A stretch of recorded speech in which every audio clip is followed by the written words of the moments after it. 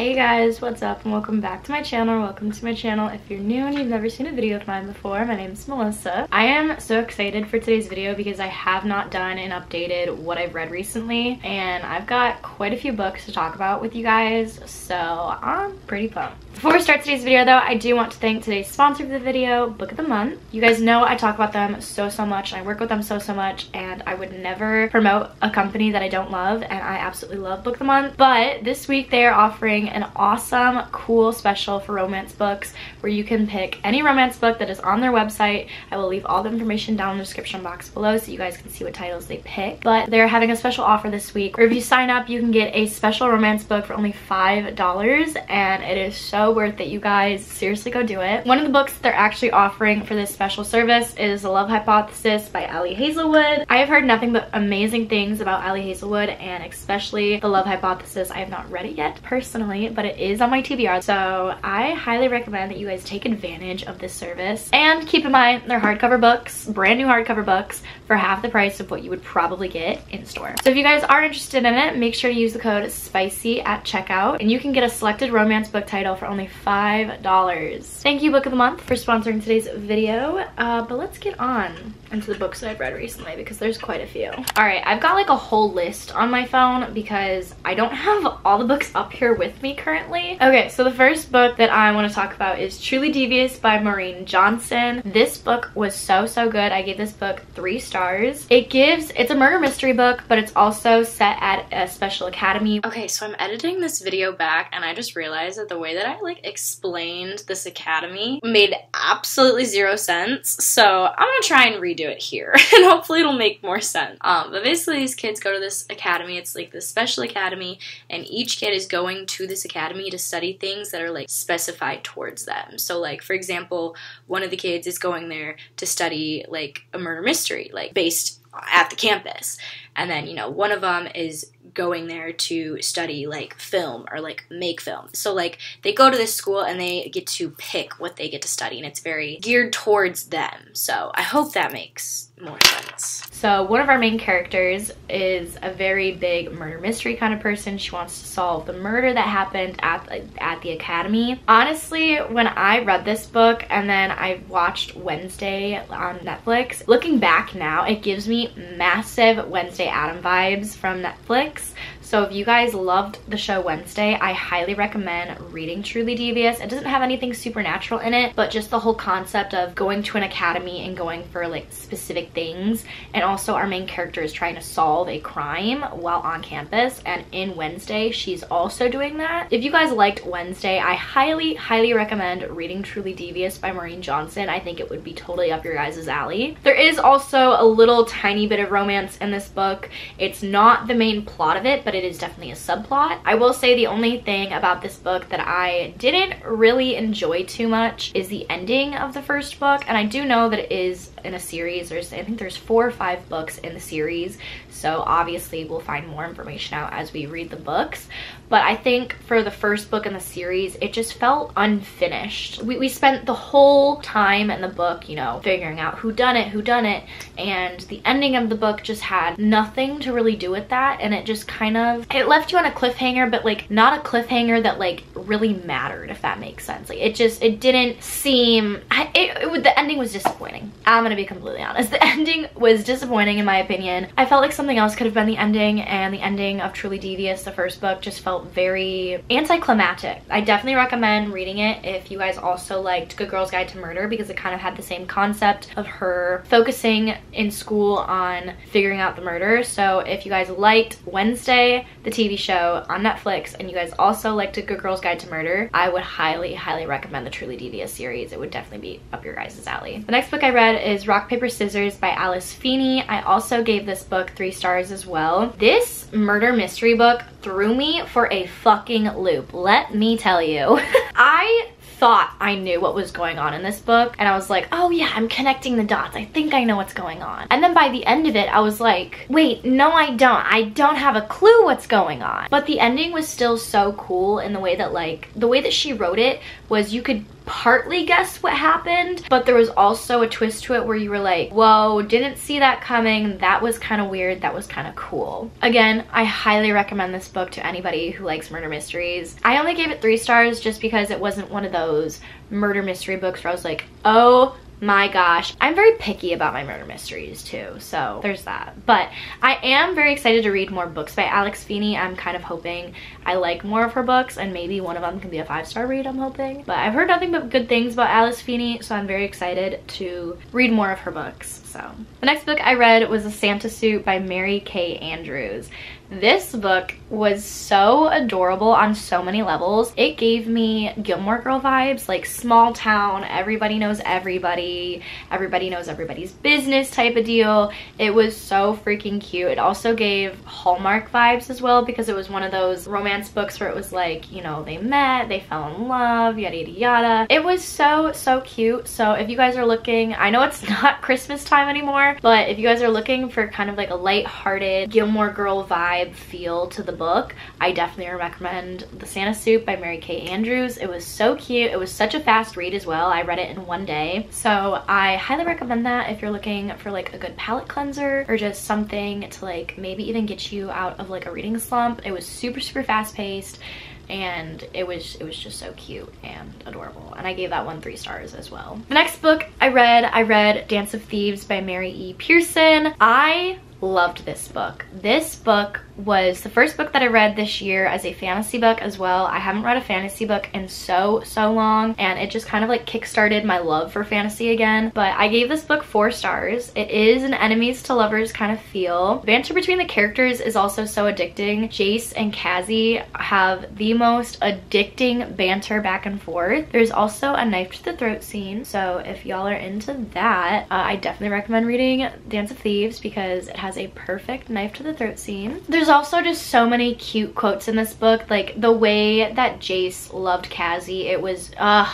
it was so, so perfect and so amazing. And it was also one of those things where it was like, she was trying to make him fall in love with her so that she could like finish her mission. I'm not going to tell you guys too much about the book because I don't want to ruin it, but it was so, so good. Such a cute book. Um, the character development in this is so amazing. Just the way that Mary E. Pearson talked about the characters and gave the characters background, it just made them feel so much more human than fictional. I haven't read the second book, but I've already bought it because I'm so excited to read it. But yeah, I gave that one four stars. I really loved that book. Honestly, if you guys liked Six of Crows, I feel like you're gonna like Dance of Thieves. It kind of has, I don't want to say the same feeling to it, but the banter between the characters, the depth between the characters, I feel like is comparable to the depth and banter within Six of Crows characters. So highly recommend it. The next book I read, uh, I, this, this one I might get a little bit of hate for. I read Corrupt by Penelope Douglas. I feel like you either hate or love this book and I feel like there's no in between. I didn't really enjoy this book solely because I'm not a huge dark romance person. Also, this dark romance includes a lot of trigger warnings, including like rape and sexual assault. So that's not really something I like to read about. It's not really something I want to hear about or see romanticized or fantasized about. So I, I don't really know how I feel about this book yet. I know it's in a series and I know you don't get to know all the characters in one book, but it just I don't know. Again, like I said, I would definitely search up the trigger warnings if you want to read Corrupt by Penelope Douglas. Penelope Douglas is also more of a dark romance kind of writer, so if you are into dark romance, I would definitely check out Penelope Douglas. There, I've only read one other book by her and it was Punk 57, and I wouldn't even call that dark romance. It really wasn't dark romance, but uh, that's the only other book by her that I've really, really liked. Corrupt also has an enemies to lovers kind of feel to it. It also has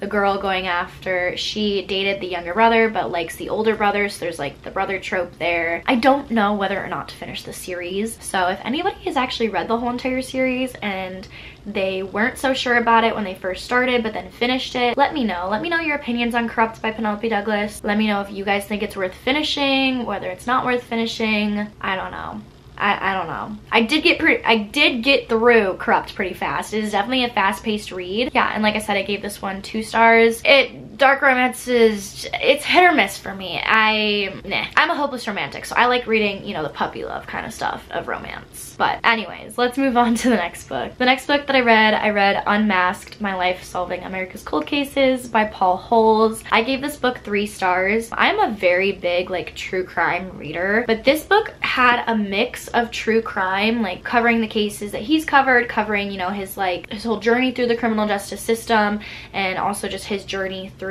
working his way up the ladder in the criminal justice system, which was really, really interesting to learn about how he became a private detective. But another interesting thing about this book was it also included some like personal anecdotes from his life and like how working within the criminal justice system affected his daily life and also like his life with his family. So it was, it's kind of like a mix between a true crime book and kind of an autobiography. I think that's what it's called, an autobiography or a biography. You guys get the point. I would definitely say to look up the trigger warnings of this. It is true crime, so it is talking about cases and it does go into detail about cases. I'm also pretty sure that this book shows pictures as well, so if you guys are squeamish with that kind of stuff, maybe don't read it. but in terms of a true crime book, it was pretty good. I also liked the whole aspect of him including his personal life in it and how it affected his personal life because I feel like when we read a lot of true crime books, it's either in the point of the view of the victim or it's talking just solely about the case and we aren't really seeing how these cases affect